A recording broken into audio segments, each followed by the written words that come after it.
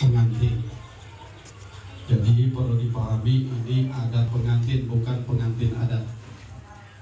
Kalau pengantin adat berarti tidak secara gereja tapi secara adat.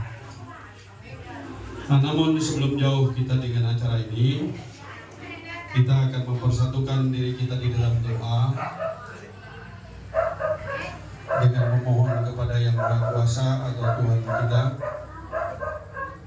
Mudah-mudahan segala apa yang sudah kita sediakan duduk diri duduk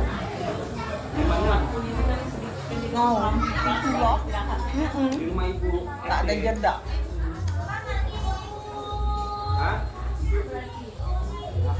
Dah pulang dalin. Dah pecah dah. Dah dah ada beban.